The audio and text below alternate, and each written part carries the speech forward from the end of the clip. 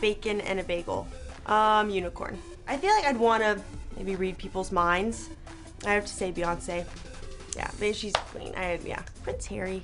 He's younger. I'm a younger sibling. It was like a, a song because Katy Perry just came out with her album. But I hadn't listened to it. I think that it didn't like load all the way, but I was trying to look up something about her album. you ever watch Naked and Afraid?